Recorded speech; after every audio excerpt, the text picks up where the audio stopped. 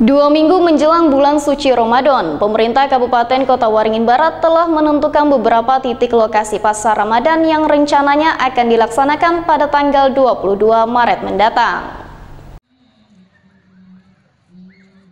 Indonesia terkhusus Kabupaten Kota Waringin Barat saat ini sudah mulai terlepas dan juga menjalani kegiatan dengan normal setelah sebelumnya dua tahun dalam masa pandemi COVID-19.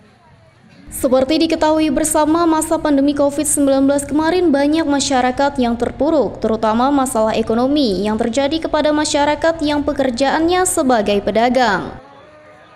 Di tahun 2023 ini kehidupan masyarakat kembali dengan normal. Segala sektor pariwisata UMKM kini sudah mulai berjalan dengan normal.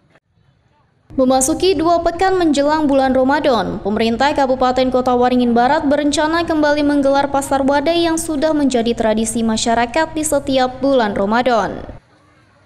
Pasar Ramadan kali ini dibuat sebagai harapan agar ekonomi bisa kembali tumbuh dan juga berkembang. Masyarakat terlayani kebutuhan rumah tangganya dan berbagai kebutuhan makanan bisa tersedia.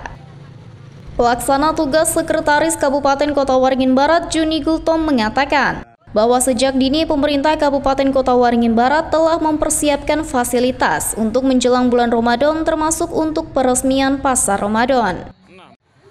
Dalam hal ini, Pemkap Kobar juga telah menentukan beberapa titik lokasi yang mana nantinya akan dilaksanakan pada tanggal 22 Maret tahun 2023.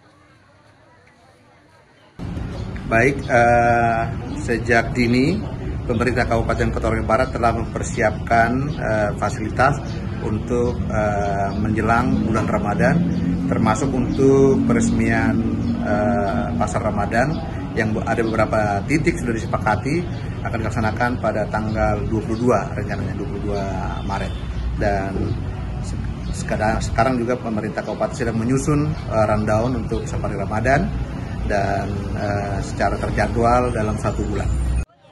Selain itu, pemerintah Kabupaten Kota Waringin Barat juga sedang menyusun rundown untuk safari Ramadan tahun 2023 yang mana dijadwalkan dalam satu bulan selama bulan Ramadan. Muhammad Iksan, SBTV